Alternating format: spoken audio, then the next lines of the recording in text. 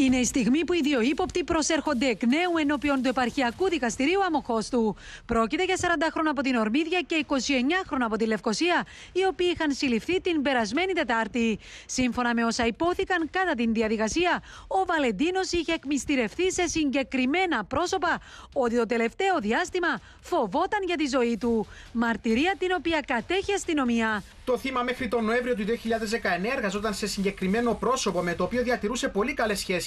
Μετά την αποφυλάκηση του Καλιτσιών, οι σχέσεις τους είχαν ψυχρανθεί. Το θύμα από τότε εξέφραζε έντονα σε άλλα πρόσωπα ότι κινδύνευε από τους δύο επόπτους και από ένα τρίτο πρόσωπο. Με τον δικηγόρο των δύο να απαντάει με βροχή ερωτημάτων. Έχετε εντοπίσει υπολείμματα εκπυρσοκρότηση πυροβόλου όπλους στους υπόπτους ή στη μοτοσυκλέτα; Τα χέρια ήταν αρνητικά. Στη μοτοσυκλέτα βρέθηκαν; Όχι.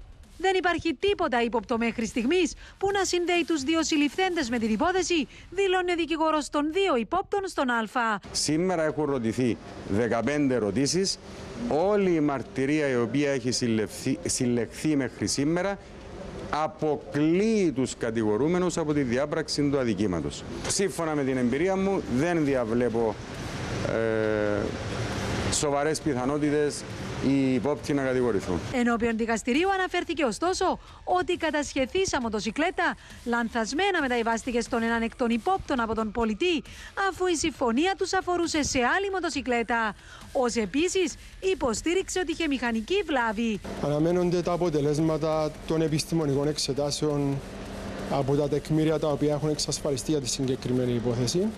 Ω επίσης αναμένεται να ληφθούν και περαιτέρω καταθέσεις. Το Επαρχιακό Δικαστήριο Αμοχώστου ανανέωσε για άλλες τέσσερις ημέρες το διάταγμα κράτησης των δύο.